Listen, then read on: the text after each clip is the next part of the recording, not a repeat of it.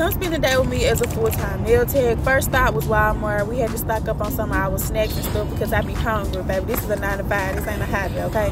These are the napkins I like to use. If you want your brush to last over four years, use these went to the nail supply store i only spent 25 dollars. I was so happy that i only spent that okay? So i ran a 60 dollar nail special this day. I had three clients for that and one of my regular clients. My first client came at 9 30 she's a nail biter but i ate her settle. Don't play with me. Look at that. Look at that. My second client came at 11 30 crispy. Third client 2 o'clock. And my last client came at like 3 30 it was a fill-in.